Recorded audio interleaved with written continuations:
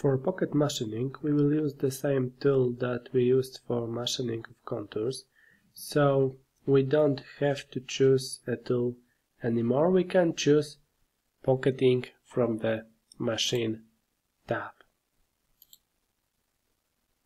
Pocket machining removes material from the interior of a closed geometry. Similarly to the machining contours, select the vertical and selected options. Let's move to the General tab. Here select the type contour. We don't have any islands but leave the full in the final pass around island section and start cutting at inside. Let's move to the Levels and Cuts tab. Parameters from contour machining have been saved and as the safe rapid level we can leave 25 mm, as the rapid down to leave 5 mm, as the material top leave 0 and as the final depth leave minus 18. Let's change the number of cuts to 18 and select equal option in the depth of cut section so that all passes are the same depth in the z axis.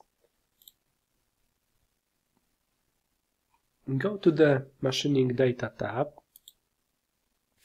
and enter 1 in the stock to be left field.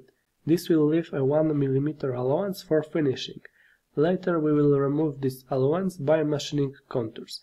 The width of cut parameter is responsible for the side step. It means the distance between successive passes in the xy axis. Let's enter here 8. Click OK and select the large circle. Accept the selection. OK. I switch to the XY view and the cutting width is the distance between these passes. Okay.